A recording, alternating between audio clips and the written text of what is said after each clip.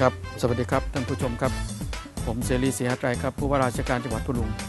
วันนี้ผมจะพาท่านผู้ชมไปชิมอาหารที่น่าทึ่งที่อร่อยที่หาทานได้เฉพาะที่พัทลุงครับ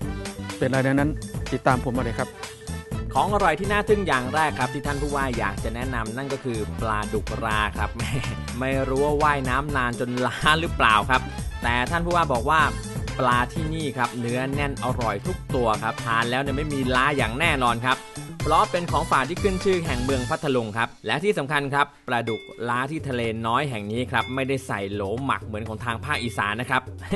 แต่ทำแบบไหนครับมาดูกันครับ มันจอกถึงหวานนะหวานเอ่อ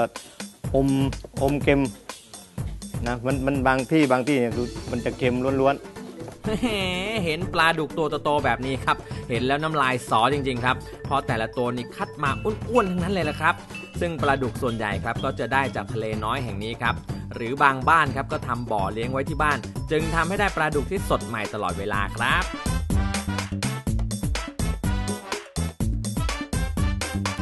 วิธีการทำมันก็ไม่ยากเนี่ยเริ่มเริ่มต้นจาก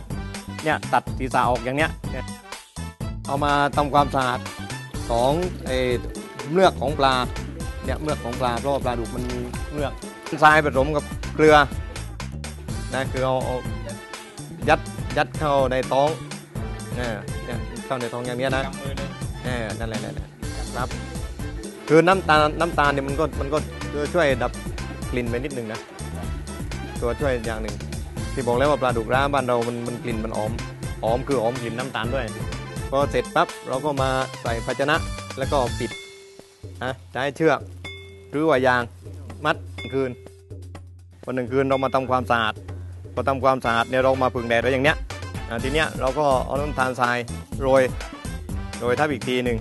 นะเต็มพับนะเราก็เอาพลาสติกเอาฝามาปิดมาอุ้มนะแล้วก็หมักไว้หนึ่งคืนทำกรรมวิธีขั้นต่อไปก็คือมาทับ ให้ตัวมันแบน เราก็ใช้กระดาษห่อปลาดุกไว้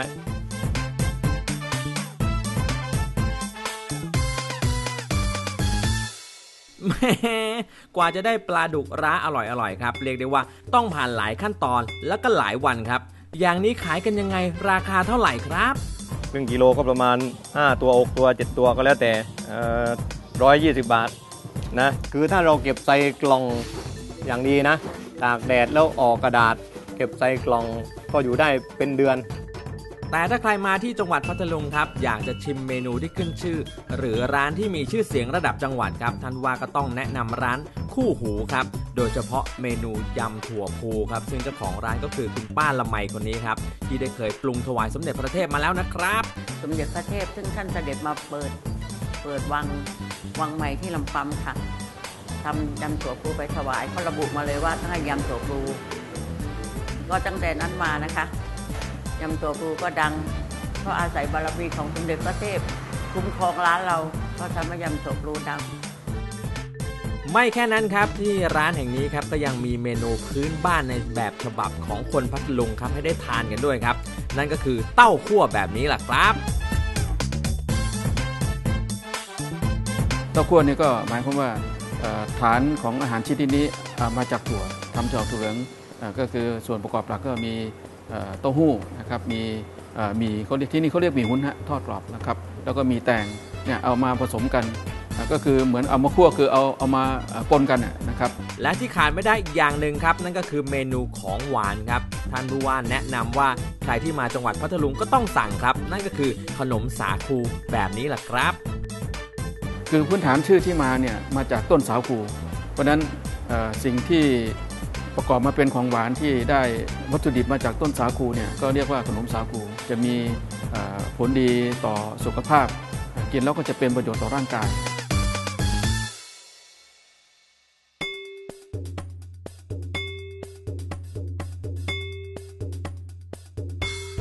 ผมจะประกอบ เมนู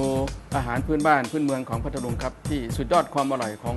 ร้านแห่งนี้นะครับ คือแกงใส่บัวครับ ขั้นตอนที่หนึ่งก็ใส่น้ำกะทิก่อนครับ ที่สองก็ใส่เกลือครับ น้ำตาลก็เหมือนกันครับก็ 1 ช้อนครับ ขั้นตอนไปแล้วก็ใส่สายบัวครับ ให้สายบัวเนี่ยได้เรียกว่าเข้าน้ำเข้าเนื้อ น้ำกะทิเข้าไปในสายบัวได้ที่แล้วเราก็เอาปลาทูลงนะครับ เข้าเข้าน้ำเข้าเนื้อแล้วก็ตักเสิร์ฟได้เลยครับนะครับ ก็เมนูแกงสายบัวที่สุดอร่อยของร้านนี้ครับ